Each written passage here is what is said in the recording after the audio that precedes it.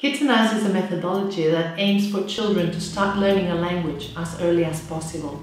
We suggest that they start from the first year of life because that's when they are also learning their own language. We want children to follow the same steps as when they are learning their mother tongue when it comes to learning English, and that is starting by listening. We want them to start learning a new language through listening. Because if we weren't able to listen to a language, we would never be able to speak it. So that's why after listening, once they have been listening for the same thing over and over again, then they start understanding it because uh, when they come to our lessons, our job is to put all this information they've been listening to in context, so that little by little they can make out the meaning of it.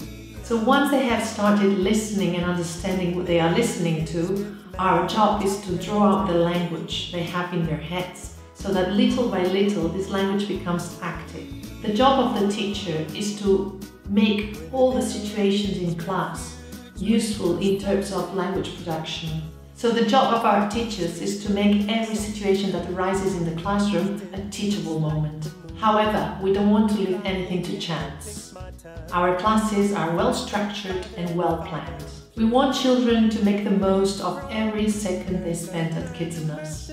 That's why we need to have everything under control at all times. So after many years listening to English, understanding English and speaking English, we want children to start also reading and writing. But as with our mother tongue, we won't start reading or writing till children can speak some English. That's why the earliest we're going to start reading or writing is going to be at the age of 8.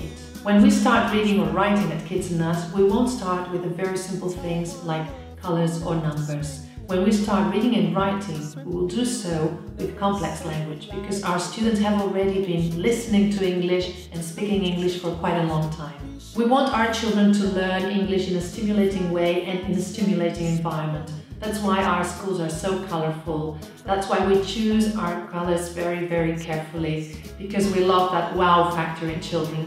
When it comes to language learning, we always emphasize the younger the better. That's why we offer courses from the age of one.